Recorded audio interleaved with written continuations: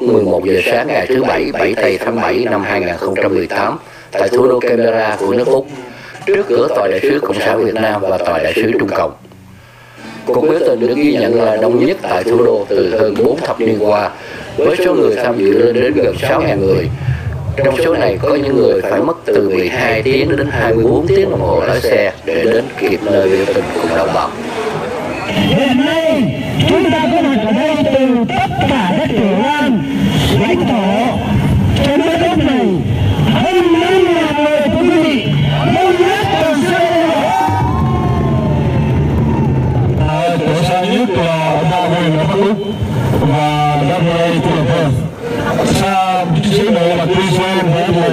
những chỗ mà gần chúng tôi gọi là Castle là gần Cornwall Wellington uh, Sydney Canberra và chúng tôi đều làm Melbourne. Kính thưa quý vị, việc cái gọi là cho thuê đất 99 năm ở ba vùng Vân Đồn, Bắc Vân Phong và Phước Úc là ba vùng nhiều chiến lược của Việt Nam Cộng hòa chúng ta và việc phá nước này là một hành động phản quốc rõ ràng đã nói đảng Cộng sản Việt Nam phá nước tất cả các nơi trên thế giới, đặc biệt là đồng bào quốc dân Việt Nam đang theo dõi. Chúng tôi ở bên này nói với đồng bào quốc dân rằng chúng tôi đang đồng hành với đồng bào ở bên đó. Hãy xuống đường biểu tình đừng sợ. Đến 1 giờ trưa, đoàn biểu tình đã có mặt trước tòa đại sứ Trung Cộng để phản đối quốc gia này đang có giả tâm xâm chiếm Việt Nam. Và đồng bào cũng đã xé lá cờ của Trung Cộng tại đây.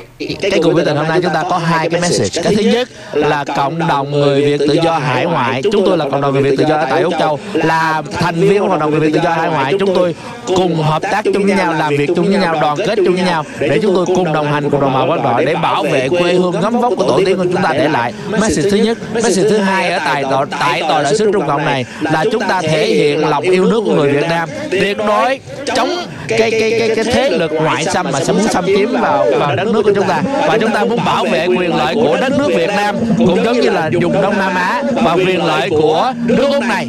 vì chúng ta hiện bây giờ là người Úc chúng ta cũng bảo vệ quyền lợi của nước này. cho nên cái quyền lợi của Việt Nam và quyền lợi của nước này hiện nó nó đang có một cái sự nó nó nó tương tương đồng với nhau cho nên chúng ta đang kêu gọi chính phủ Úc và và nhân dân Úc hãy chống những cái cái việc mà cộng cộng sản Trung Quốc họ đang muốn xâm chiếm vào nước Úc này kính thưa quý vị. Trong cái việc này chúng tôi cũng show cho đồng bào thấy mặc dù chúng tôi là người Úc chúng tôi sống ở xứ sở này nhưng chúng tôi lúc nào cũng muốn đồng hành cùng quý vị để bảo vệ giang sơn và gấm vóc của tổ tiên chúng ta để lại. Kính thưa chị anh em từ Brisbane à, và em tụi em lái xe làm nội xa xôi từ hôm qua đến đây. À, với cái mục đích là không gì hơn là để mà thứ nhất là để uh, yểm trợ đồng bào gây cho nước tiếng nói mình về trong nước gửi đến những đồng bào trong nước đang đổ máu xương máu để dừng giữ gìn đất nước Việt Nam. Để mà động lực cho đồng bào càng ngày càng xuống đường và nhắc nhở với họ rằng bên chúng họ không bao giờ đến đọc. Và vì đồng à, đồng bào hải ngoại vẫn luôn là hết lòng sơ hết mình để mà ủng hộ yểm trợ à, đồng hành với lại những anh em chiến sĩ trong nước. Để chống à, cái hãng nô, tụi hãng nô và tụi Trung Quốc xâm lược. Và hy vọng cái, những cái cuộc tin tình này của hải ngoại sẽ cướp một phần nào đó sẽ cho họ thêm nghị lực cũng như tinh thần và vẫn tiếp tục xuống đường từ đây về sau. Và tụi em cùng cùng ví dụ như là ở hải ngoại chúng ta hàng hàng tuần hàng tháng các tụi em sẽ thay phiên nhau xuống đường để mà yểm trợ động viên cho đồng bào trong nước. Đó là cái lời muốn nhắn nhủ. Tôi từ Sydney tới đây biểu tình chống Trung Cộng à, xâm lăng Việt Nam No China in Việt Nam No China in Việt Nam hiện tại là bà, Việt Nam là cộng sản là đã bán nước cho tàu cái đó là cái quốc ức của tôi.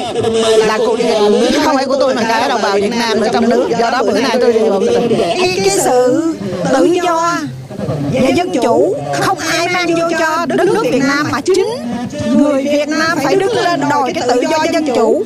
Không một cái cường quốc nào đem cái bưng cái mâm dân chủ vô cho mình hết. Mà chính dân tộc Việt Nam mình chín mươi mấy triệu đồng bào phải đứng lên để đòi cái dân chủ. Nếu sợ bị bắt, nếu sợ bị tù, thì sau này Trung Quốc nó vô thì mình có còn sống hay không? Mà để sợ chết giờ mình chết mà còn đất nước cho con cháu mình mình cũng nên chết. còn hơn nữa mình chết nhục.